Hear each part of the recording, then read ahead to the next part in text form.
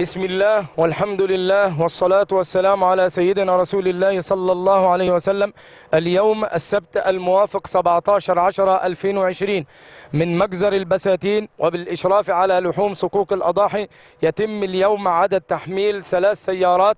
تحميل عدد ثلاث سيارات محملة بحمولة تسعة طن متوجهة إلى المديريات الآتية مديرية الإسكندرية أربعة طن مديرية البحيرة ثلاثة طن مديرية بني سويف اثنين طن وذلك لتوزيعها على الأسر الأولى بالرعاية مع كل سيارة مفتش عام من الوزارة لتوصيلها وتسليمها إلى السيد وكيل الوزارة بالمديرية وكل عام وحضراتكم بخير والسلام عليكم ورحمة الله وبركاته